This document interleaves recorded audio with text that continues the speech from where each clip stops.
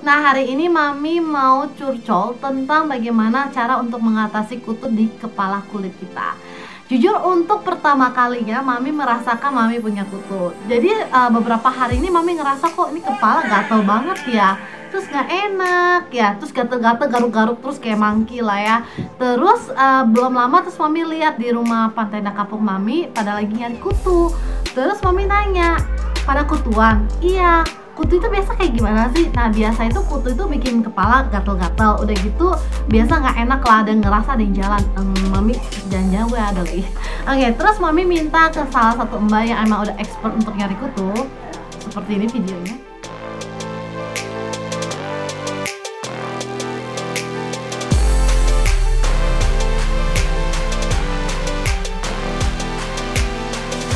Jadi intinya kita semua itu kutuan jadinya karena penyebaran dari satu orang. Karena kita tahu sendiri kutu itu adalah parasit yang suka banget tinggal di kulit kepala manusia dan penularan ini cuma dari manusia ke manusia. Jadi ibaratnya mami kena nih, kena ke baby Louis, kena lagi ke anak kecil. Dan ini untuk kalau misalnya penularan ke anak kecil itu mungkin aja kalau mereka itu satu rumah atau berdekatan. Karena kutu itu tinggal twing terbang dari satu kepala ke kepala lain dan kutu itu hebat banget. Ibaratnya deh cuma satu kutu nih nempel di kepala mami. Nanti beberapa hari setelah dia menghisap darah mami dan makan keringat mami dia telur. Bertelurnya tuh banyak banget ngasilin banyak anak-anak kutu. Dulu bayangin deh gagal satu kutu langsung set.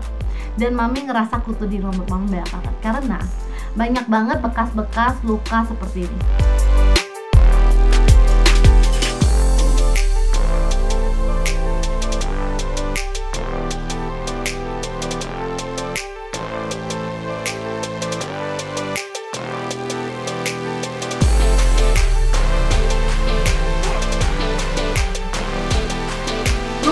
nggak cuma satu tapi banyak banget moms dan emang itu nggak enak banget. Jadi kutu ini tuh bentuknya tuh kayak biji wijen ya. Kakinya ada enam.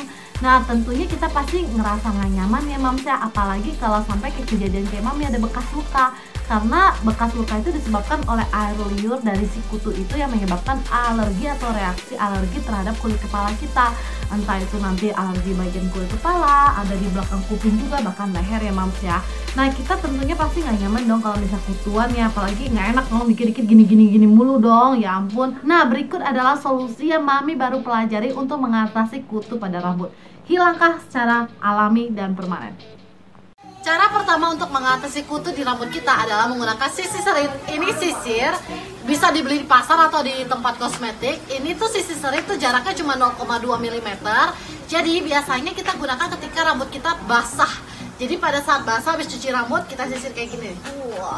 Nah, lakukan ini empat kali dalam sehari untuk mengusir kutu-kutu yang ada di rambut kita dan biasanya kita lihat nih ada kutu nggak di bawah kalau ada langsung! Coba ini juga. Hmm, aman. Nah cara kedua untuk menghilangkan kutu pada rambut kalian adalah menggunakan mouthwash. Ini adalah mouthwash yang biasa pakai di rumah. Caranya gampang kalian tuangkan sedikit demi sedikit mouthwash ke telapak tangan kalian. Seperti ini nih. Kemudian nih diusapkan. Kemudian kalian usapkan ke bagian rambut kalian di bagian rambut dipijit-pijit.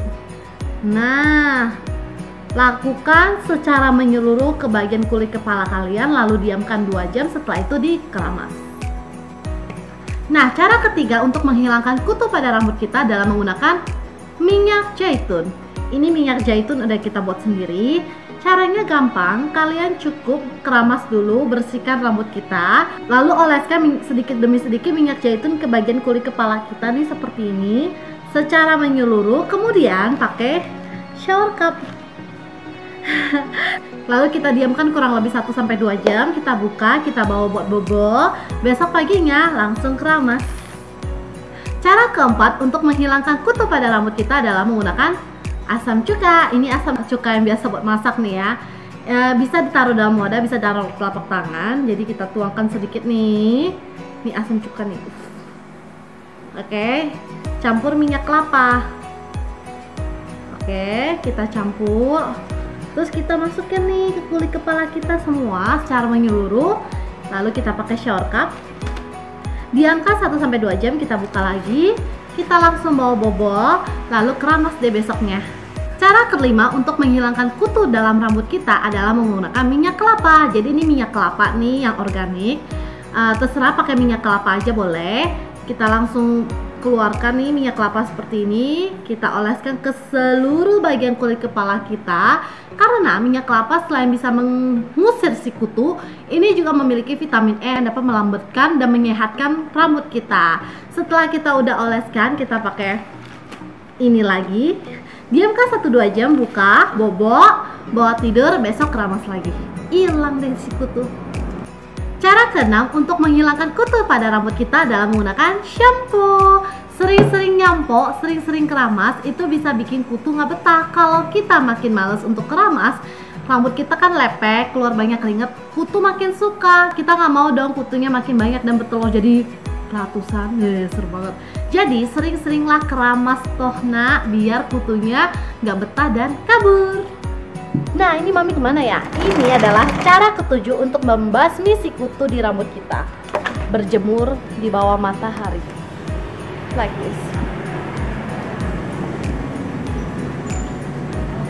Kutu pasti kepanasan dan dia bakal betah sama panasnya sinar matahari ini.